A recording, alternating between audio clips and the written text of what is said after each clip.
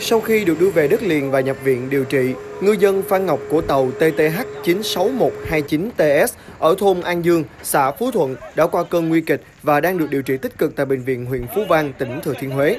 Trước đó vào khoảng 13 giờ ngày 23 tháng 5 năm 2018, trạm thông tin tìm kiếm cứu nạn của Hải đội 2, Bộ đội biên phòng Thừa Thiên Huế nhận được thông tin tàu TTH 96129TS do ông Phan Văn Tý làm thuyền trưởng đang hoạt động cách cửa Thuận An 53 hải lý về phía bắc đông bắc có thuyền viên Phan Ngọc 47 tuổi bị đau bụng nôn ra máu xin cứu nạn.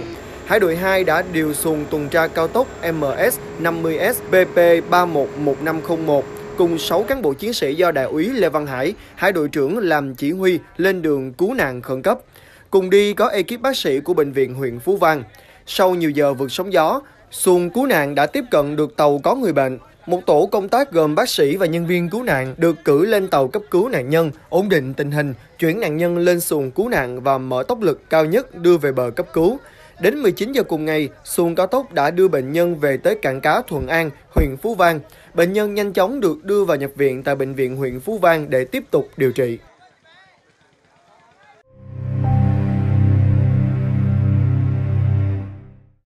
Chúng tôi biết bạn có nhiều lựa chọn và chúng tôi luôn là sự lựa chọn tốt nhất.